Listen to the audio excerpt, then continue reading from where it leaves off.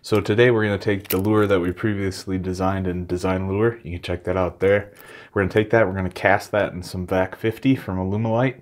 And then I'm going to let that set up and then we're going to pour some Plastisol swim baits. So if that's something you're into, stick around.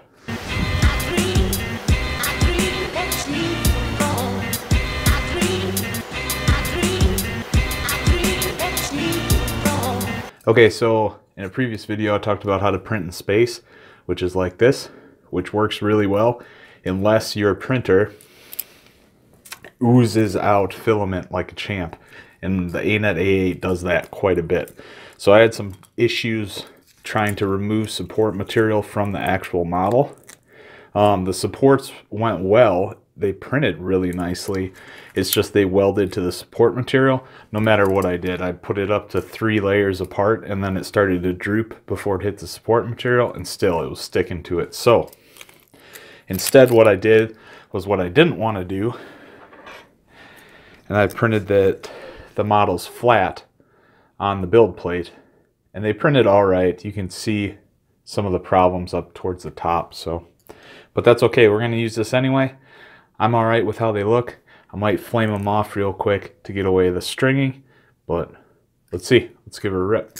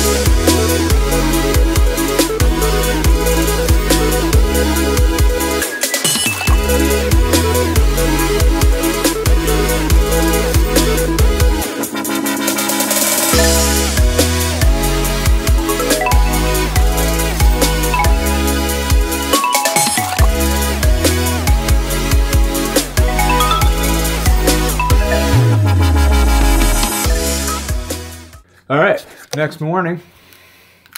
And that's what we're left with there. So I think the goal for today is to clean up these edges in here. Kind of scrape away the the mold material and then uh, piece piece together the second half. So what I'll do is I'll scrape these out to make sure that the the new VAC 50 on the second half of the mold is going to be able to pour over there and leave a good cavity. Then I'll spray uh, or I'll drill a couple indexing holes as well in here somewhere so the second half will be able to fit in correctly. And then I will go ahead and spray mold release on this and then pour new VAC 50 on it. So I did the same thing that I always do with these things and I poured way too much VAC 50 on there. I used way too much for it. Could have used half of it. So I think this, for the second half of this, I'm going to use about half as much as I did before. So just be cognizant of that. I mean, you use a lot of that stuff and it's not cheap. So, all right, let's get her.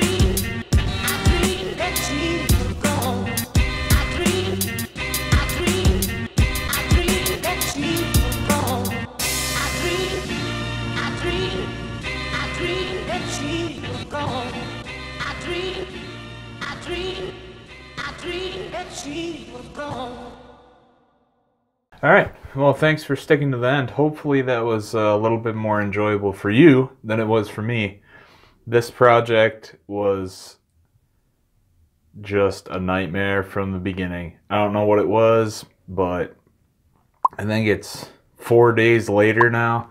Uh, you, if you have a keen eye, you might have noticed that I started with uh, 3D printed in pink parts, and then I had to go to green. Well, the reason that occurred is because I poured the first half of the first mold, and I didn't put the mold release on the prints, thinking, ah, it's no big deal. I can just heat them up and pull them out of the Alumilite after it's set up. Doesn't work. Don't do that. Apparently, does not work. Um, they're in there and they're not coming out. I tried melting them out. I tried everything and they're in there. So I had to repour the whole mold. As the VAC 50 sets up, it all the air comes either you know up out of the epoxy or it gets set in, and a lot of these were just set into. So there's a lot of dimpling on them. Don't have a vac chamber yet, but I don't know if you can see it.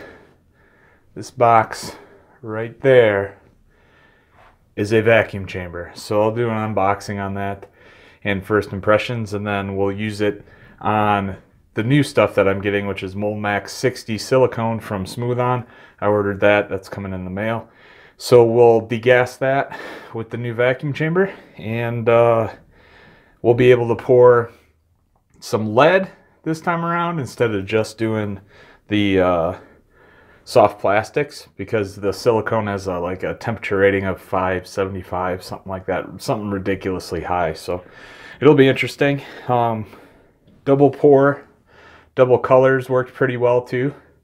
I think that's a pretty cool one. Um, just with the green belly and then uh, clear with glitter on the inside so definitely still working the 3D print process works really well as long as you don't cut your finger open and you don't do a couple other things. So if you enjoyed this, is kind of what I do on the channel. Uh, feel free to give it a like, maybe subscribe.